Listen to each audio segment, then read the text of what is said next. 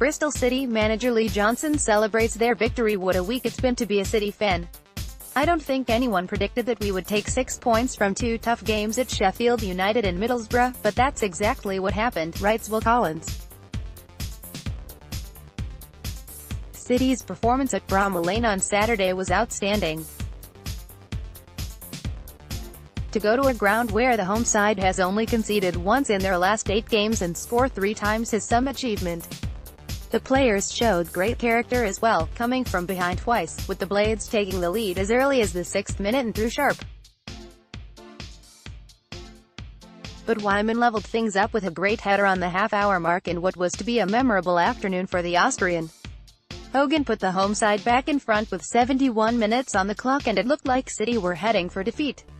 But Weimann had other ideas. Six minutes later substitute Palmer floated the ball into the box and it was met first time by Weimann who volleyed past Henderson. Then, on 83 minutes, Weimann drove towards goal like a man possessed. After taking the initial throw-in he played a 1-2 with Diedhiou on the edge of the box before nicking the ball over the last man and firing home into the far corner to send the City away and wild. It was Weimann's first career hat-trick and what a time to produce it.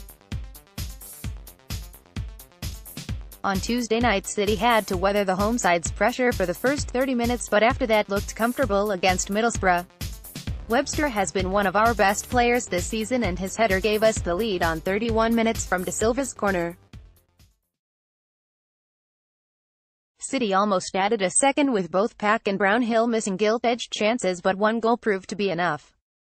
City now have two home games to look forward to, firstly against struggling Wigan Athletic on Saturday, 3 p.m., who have the worst away record in the division, and then fourth place WBA are the visitors to Ashton Gate on Tuesday night, 7.45 p.m.